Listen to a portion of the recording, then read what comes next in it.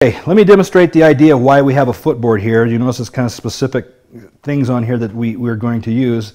The body has two different kind of mechanisms that we balance with. First of all, we have visual reference, which gives us the ability to balance with sight, and then physical reference, because every cell in our body has the ability to tell where it is in relationship to gravity. And so what we do is we're, we're kind of take a look at the distortion by putting the foot where it's supposed to be. So if you look at the footboard, um, I have his heels all the way to the back so that they're even with each other, and then both feet are parallel. What that does is we normally, when we have a distortion, we'll create something to balance our mechanisms.